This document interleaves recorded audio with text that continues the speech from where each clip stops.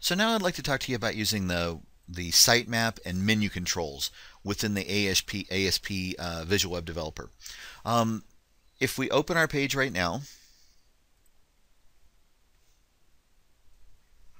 we can see we've got a, a, menu div here, but there's nothing in it. Uh, and if we want to move from page to page, we have to know how to get there. Not efficient at all. So what we would like to do is have the links to allow us to move from page to page. If we go through and hard code these links, whenever we want to add a new page to our site, we would have to go change all of the different pages that are that have that link on it or that need that link added to it, and it becomes pretty cumbersome. The sitemap and the menu control uh, configure the site so there's one place where you can go add new items uh, or delete or change or whatever you need to do. Uh, so you can do it in one place instead of having to visit all of your pages. Now when we're looking at our Visual Web Developer project here, uh, role-based security, admin, customer, sales, and there's the login page. Uh, I've added a few items in there a few web pages in there. So basically, we've looked at our user stories, we've uh, sat down and mapped out, uh, we've done a sitemap to figure out what things uh, uh need to look like, what pages we're going to need to have, uh, those kinds of things. And we come up with a menu control that's going to look kind of like this. We would like there to be home, admin, sales, and customer all kind of appear at the top. And then if we go under admin, maybe they can add a new item or edit items. If we go under sales, maybe they can rent or return items. If we go under the customer, they can view the account. Uh, as a sub menu, they can pay their late fees. Uh, and then they can reserve an item. So we can see we've kind of got one, two, three levels going on here of menus. The first thing that I'm going to need to add is a sitemap.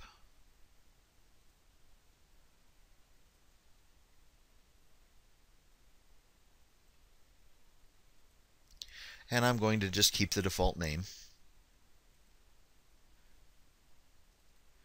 And it starts out looking pretty blank here.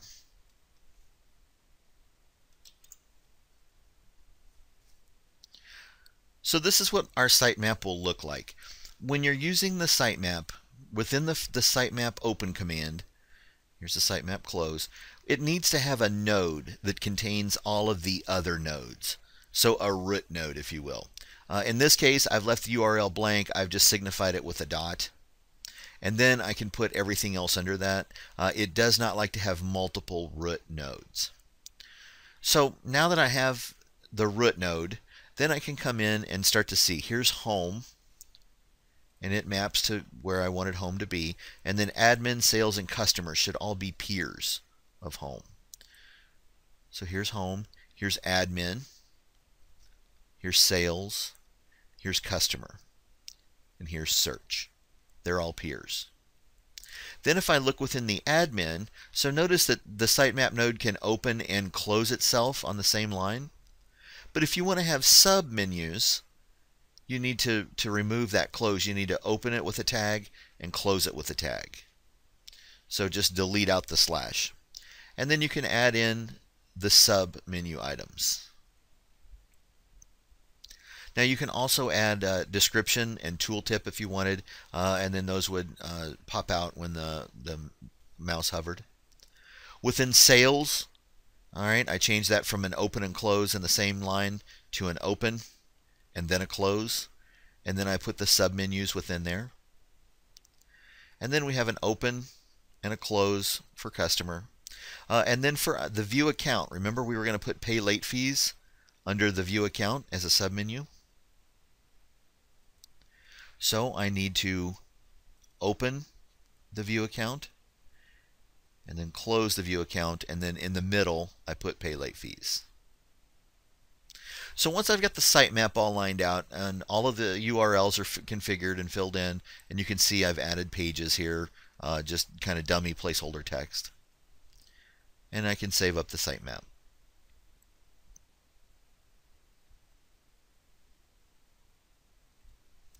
Now I need to add this menu control and point it to the sitemap. So I'm going to get here in the menu div. I'm going to get into the navigation toolbox and add a menu. Uh, and I can get rid of those words menu text. I don't need those.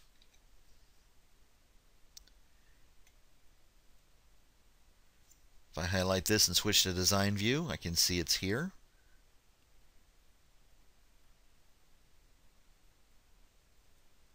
One of the things I need to do is add a data source. So a new data source, sitemap.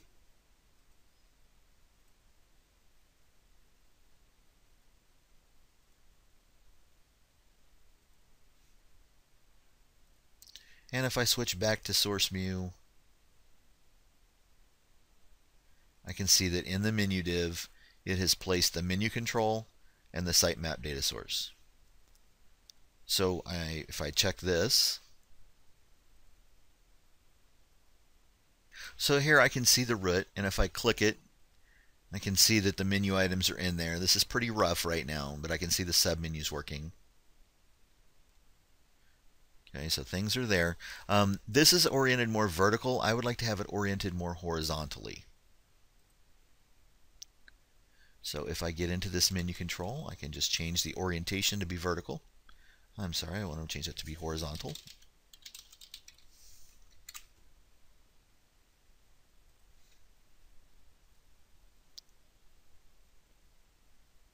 And I'm still not seeing too much here. Need to do a little bit more work to it. One of the things I want to do, I want to hide this root node, that enclosing sitemap node. Um, it's not useful to us. So to do that, I can come under the sitemap data source and do show starting node and set that to false.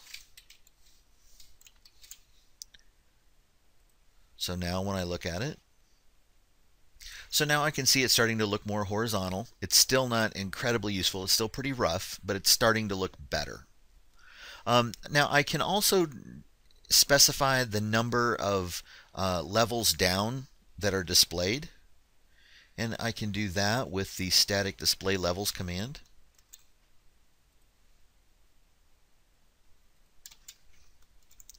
So for example, if I displayed 3,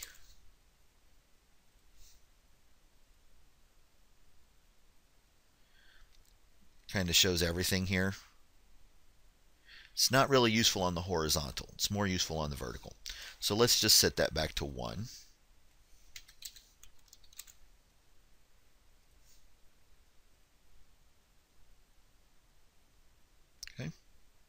I can style this using CSS.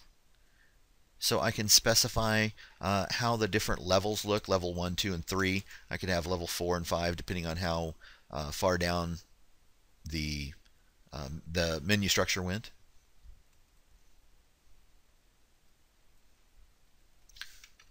So inside this ASP menu control, I can I can apply these different classes uh, point to the different menu, the levels of menu styles. So I can add those in.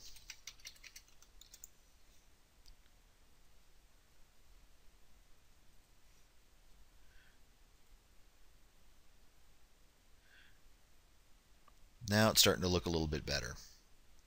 Pretty garish colors, actually quite awful looking, uh, but you can uh, at least move around.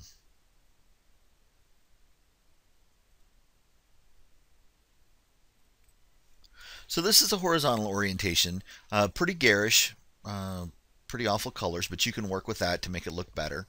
We can also orient this vertically. So if we had a left sidebar menu, we could uh, set it so that uh, the, the menu items were running up and down in the left sidebar. So let me just show you what that would look like quickly here. All right, so let's put our vertical menu over here in this left sidebar quickly.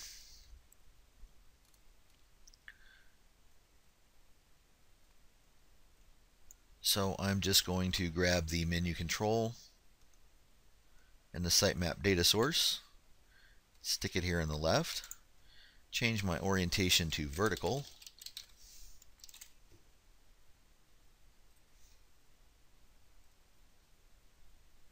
and now here it is coming down the side.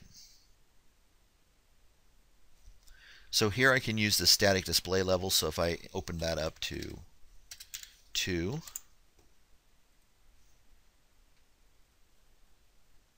you can kind of see now it's showing the all the peers and then the submenus and then you can still fly out for that third one. Um, and all of this is configurable through CSS. Now, the one other thing you can do, and I'll put a, uh, a link in the homework to this, you can have menus going across the top and down the side. So on the top, I could have home, admin, sales, and search. And then if I clicked admin at the top, coming down the side, it would show add item and delete item. It would show the submenus. And so you can do that using postback, uh, and then when one of the top ones are clicked, then one of the submenus it will appear on on the side, uh, and I will make sure that those uh, that those links are in the assignments. There's also all kinds of things you can do with CSS, and I'll put a few of those links in there as well. But now, if we were to add a new page, all I would have to do is come back to sitemap and add it,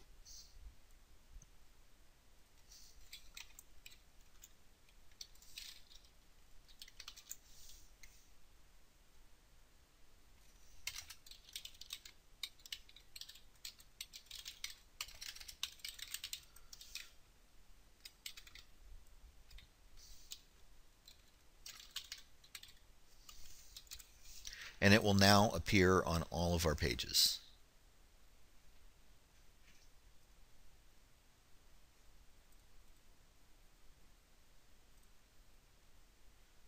Okay, so one change makes it go everywhere.